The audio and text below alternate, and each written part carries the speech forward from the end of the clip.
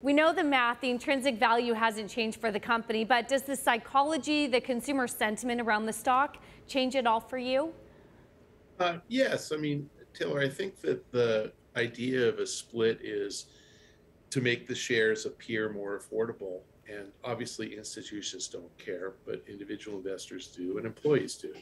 Um, so it, it allows the company to be more appealing to individual investors. You know, and if you have you know, ten thousand dollars to invest, are you going to buy four shares of Amazon? You know, maybe not, but you might buy hundred shares at 120 and spend 12,000. I think that's how they're thinking about it. Same with employee compensation. You know, I have a friend who went to work there, and I remember they gave him 223 you know shares of stock vesting over four years, and it was just really complicated. Um, they can push comp down now, stock-based comp down to even fulfillment center workers and truck drivers if they choose to. Um, because now they can give out stock in increments of you know say $120 instead of $2400 so it really provides a lot more flexibility for investors who are individuals who want to buy one share and for employees who they want to compensate and keep motivated so they can give them one share. So I, I think the stock will probably go up on this. More importantly though this shows that management actually cares ah. and i think they, they have a reputation, a very well earned reputation for not caring about Wall Street. And this is a very ah. investor friendly thing to do.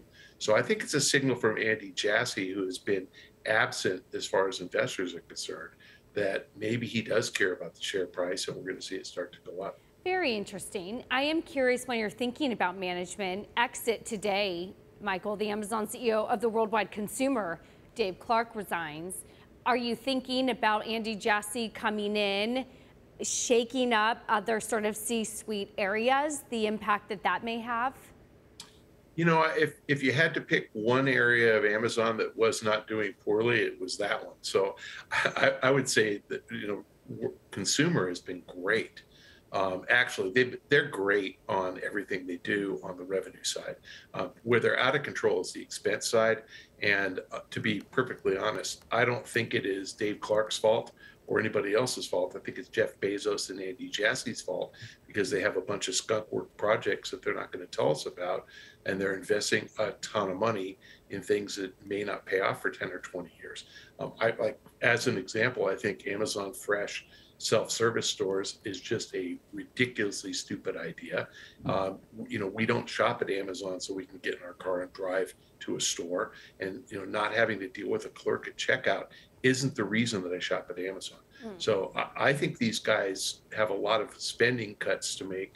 I don't think Dave Clark was the guy to uh, to make those cuts. It's Andy Jassy, so he should be much more self, you know, introspective and be more self-aware and start worrying about what he's doing as CEO. Uh, the bigger problem is that they're losing employees up and down the the ranks because they don't pay enough and they're being poached uh-huh. by competitors. So they, I, if they're going to get rid of somebody in the C-suite, get rid of the head of HR because that person has not done a good job.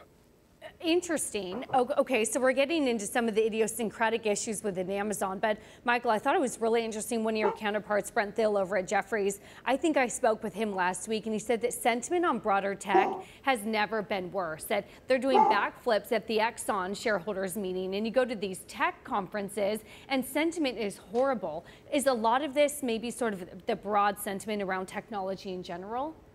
Yeah, my my largest personal holding is ExxonMobil, so I've been doing backflips as well. Um, you know, I, I, there's two types of tech. You know, there's tech that's not profitable, and so when you're paying a revenue multiple for for companies like Unity, and I love Unity. You know, it's a genuinely great company, but they don't have profits. Um, there is no bottom. I mean, who knows how to value that thing? Uh, then there are tech companies like Microsoft, Apple, Amazon, Google that are immensely profitable. Mm-hmm. And so it's really easy to kind of step in when you think they've gone down enough. And I think that where Jassy has control is he can say, I'm going to take earnings per share up 10 bucks by slowing our spending on some of these projects that aren't going to pay off for 10 years. If he does that, I think the stock has the potential to go right back to where it was. So let's see what these tech leaders do. But the profitable companies should lead the rebound, and the big guys tend to be pretty profitable.